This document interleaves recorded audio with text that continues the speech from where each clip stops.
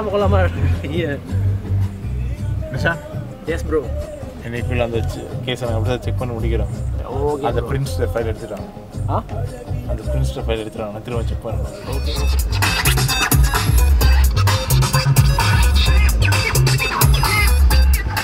நாளைக்கு போனால் பிரச்சனை இல்லை கிடைக்காது வேலோன்னு இல்லை வேலோன்னு இல்லை வாங்க போ வீடியோ எடுக்கிறீங்க. காரில் வீடியோ எடுத்தீங்க இவர் தான் குளிக்கும் குளிக்கும் ஏன் மிஸ் எடுக்கிறீங்க.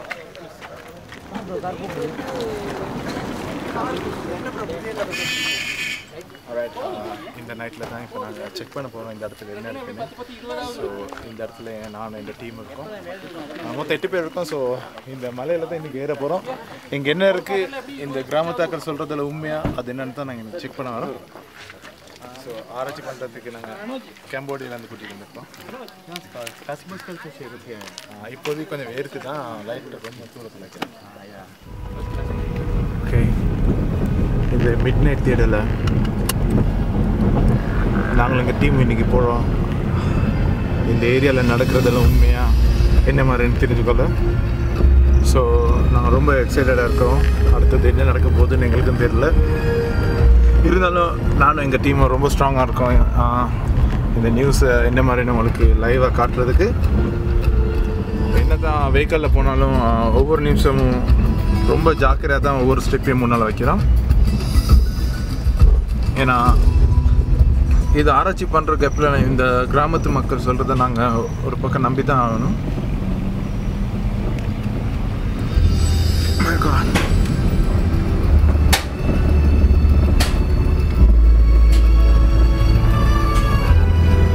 சரி ஒரு பிரேக்குக்கு போயிட்டு வரலாம் நாங்களும் மை டீமும் இதை அடிச்சு கொடுத்தா எக்ஸ்ட்ரா காசு கொடுப்பானுங்களே பாவம் நம்ம வீட்டில் காசு கொடுப்பாங்களா ஏன் அது விஷம் தானே இது நீங்கள் கையில் பிடிக்கிற மாதிரி இது லாட்டியில் இது இது வாழால குத்தி எலும்பும் இப்போ நாங்கள்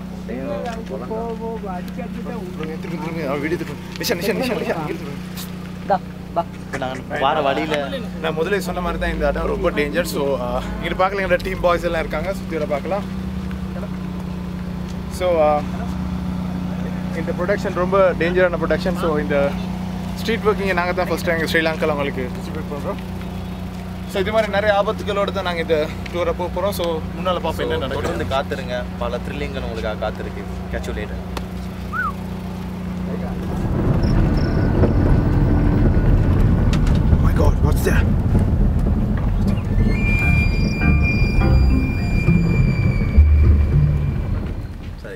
நவநாத சித்தர்ட சமாதிக்கு போக போகிறோம் கொஞ்சம் ஸ்பெஷலான விஷயங்கள் அதில் கேள்விப்பட்டனால அதை தேடி இப்போ போய்கிட்டு இருக்கோம்.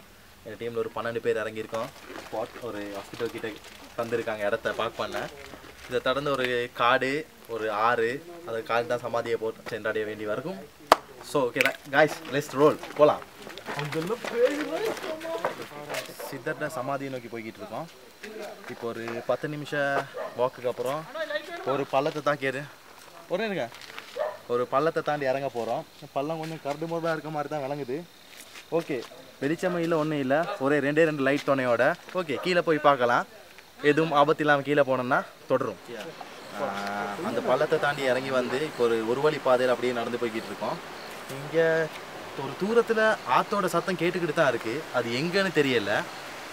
அதை தான் நாங்கள் கடக்க வேண்டிய ஆறு. ஆனால் அதை எப்போ மீட் சந்திக்க போகிறோன்றது தான் ஒரு கொஷனாக இருக்குது சரி போயிட்டு பார்ப்போம் அதை. இங்கே நிறைய பேர் ஒவ்வொரு சாமான் எடுத்துகிட்டு போகிறாங்க இந்த இப்போ கூட ஒருத்தர் நடந்து வந்துகிட்டு இருக்காரு போல் எதையோ தூக்கி ஓ அவர் வாழலைகள் எடுத்துகிட்டு போகிறாரு நாங்கள் அந்த கோவில் பூஜைக்காக தான் போய்கிட்டு இருக்காங்க சார் இவரை பின்தொடர்ந்து நாங்கள் தொடரலாம்.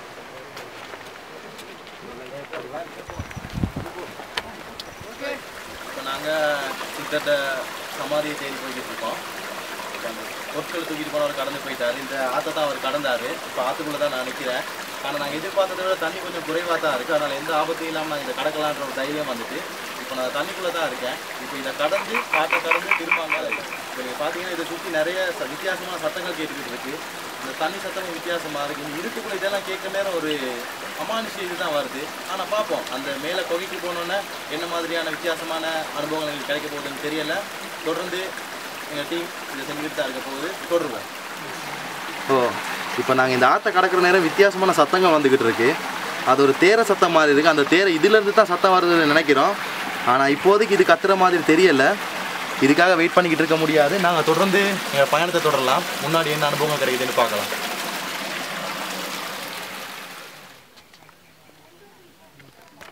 ஆ ஓகே ஓகே மேம் பிரச்சனை இல்லை மாமி. ஆ சரி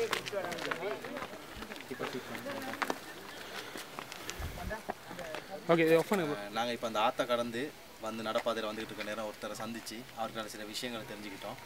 அந்த விஷயத்தின் அடிப்படையில் இதில் பேர் ரதமேடு.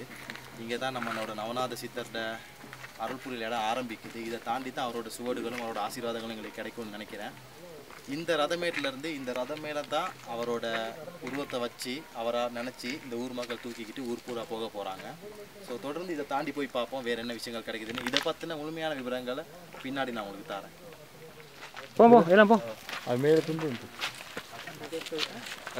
நம்மளுக்கு ஒரு குளம் மாதிரி ஏரி மாதிரி ஒரு இடம் இருக்கு. இதுல என்னைக்குமே தண்ணி வத்தாது நீங்க உள்ள ஒருத்தர் சொல்றாரு. ஸோ அது கிட்ட போயிட்டு அதுல ஆழம் எவ்வளோன்றது மாதிரி பார்க்க போலான்னு இருக்கேன்.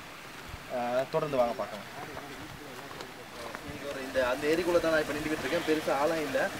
தண்ணி இந்த இதுல இந்த அளவுக்கு வரைக்கும் நிறையன்றாங்க கொஞ்சம் மண் வந்து சகதியா இருக்கு. அங்கேருந்து தான் இந்த தண்ணி நிரம்பி இதுக்கு வந்து இங்கே நிறைஞ்சிருக்கு இந்த ஆட்கள் குளிச்சு எல்லாம் செஞ்சு தான் மேலே ஏறுவாங்க போல விளங்குது. இதை பார்த்தின டீட்டெயில்களையும் நாங்கள் பிறகு பார்க்கலாம். இப்போ தொடர்ந்து மேலேயும் போகலாம். கேமரா தண்ணி சரியான மாதிரி குளிராக இருக்குது கால். விரைக்கிற அளவில் இருக்குது தண்ணி. ஓகே சரி இப்போ ரொம்ப தூரம் கடந்து வந்து சரியான தண்ணி தாகமாகவும் இருக்குது குடிக்கிறதுக்கும் தண்ணி இல்லை. ஸோ இப்போ இந்த தண்ணி தான் குடிக்க போகிறோம் இது ஓடுற தண்ணியாக இருக்கலாம் நல்ல தண்ணி நம்புகிறோம் ஸோ ட்ரை பண்ணி பார்க்கலாம்.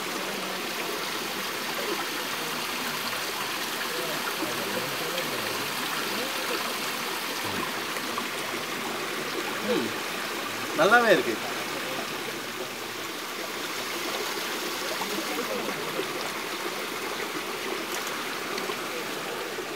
தண்ணி ரொம்ப ஜில்லுனும் நல்லாவும் இருக்குது ஸோ அந்த இந்த தாகத்துக்கு இந்த தண்ணி போதும்னு நினைக்கிறேன்.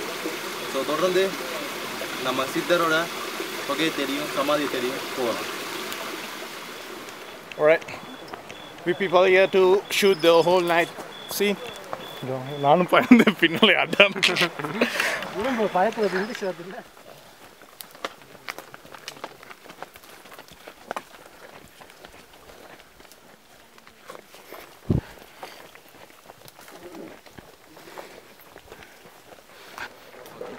நாங்கள் இவ்வளோ தூரம் நடந்து வந்து இப்போது அந்த சித்தர்கிட்ட கொகைக்கிட்ட சமாதிக்கிட்டே அடைஞ்சிட்டோம். இப்போ அது காமிக்கிட்ட தூரத்தில் தான் இருக்கு. ரொம்ப கிட்டக்கே வந்துட்டோம். நாங்கள் இப்போ அடுத்து அங்கே போயிட்டு அங்கே என்ன நடக்குதுன்னு பார்க்கலாம்.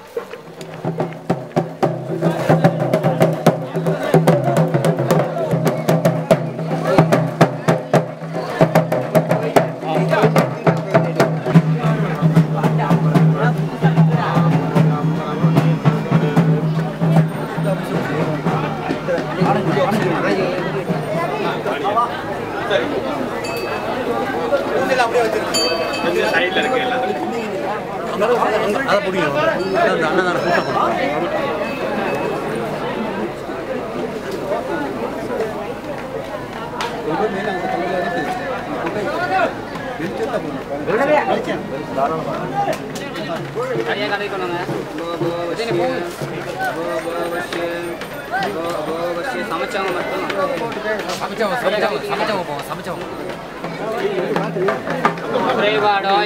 இடையூறுகள் இருந்தாலும் எல்லாத்தோட விட்டு போய் இந்த அன்னபூரணி மூலமாக எல்லாம் வல்ல சித்தருக்கு பரிபூர்ண அனுக்கிறதோடும் இங்கே இருக்க சகல தானியங்கள் மூலமாக இங்கே வாழ் அனைவருக்கும் எப்படி நோய் நொடி இருந்தால் எல்லாம் எங்கள் மூலமாக நிவர்த்தியாக நினச்சி நல்லா ஃபுல்லாக இருந்துச்சு அஞ்சு விட்டுருங்க வித்யாதேகன ஆவாகன ஸ்தாபன அவகுண்டன தாடன தேனு மகரே திரிசூலி யோனி நமஸ்காரமுத்ரேன நிருத்திகே ஆசனமுத்ராஷே சர்வः அந்தூரணகணந்தார்த்தகே வேதோருத்ர பிரதீரணம் வா கொஞ்சம் அங்கு. அன்னத்தை தொட்ட கைகளுக்கு. தானே வேணும்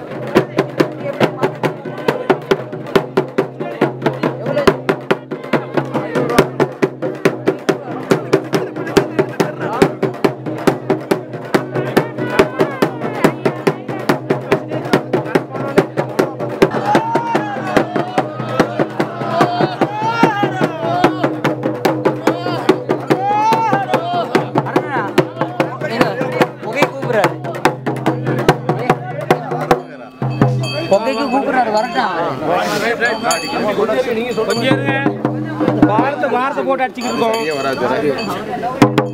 சைலண்டாக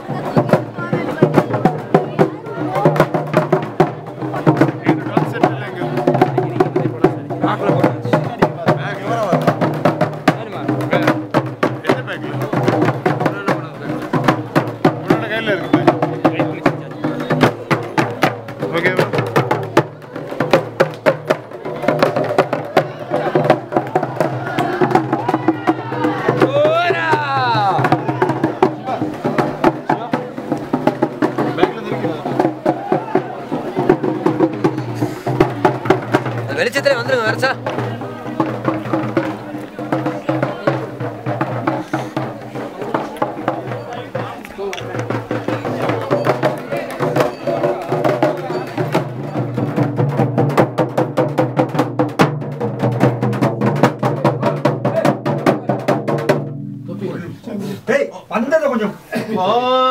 महाभोग्यांबर वेत्राय वेत्रे महा विज्ञेत्रे गौड़ियांबर वेत्रे महा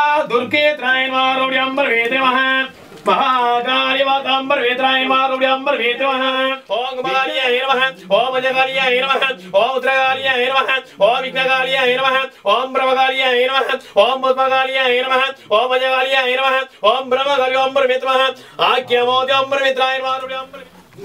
पुण्य बातां ब्रह्मत्राय नमः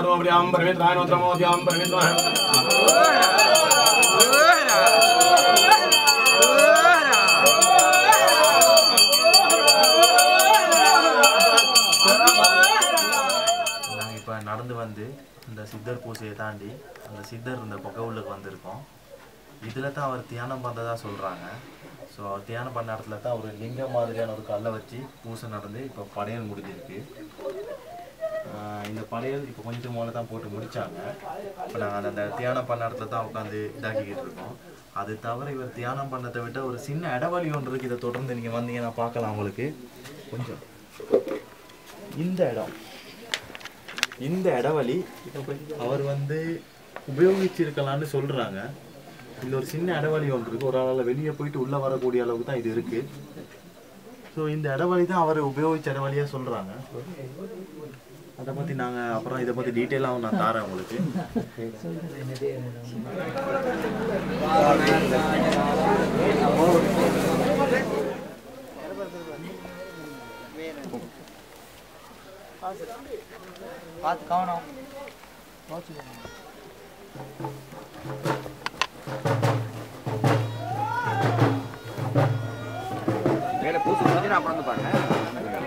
ஒருத்தன் காயப்படாத இராத தன்னைத்தானே செதுக்கி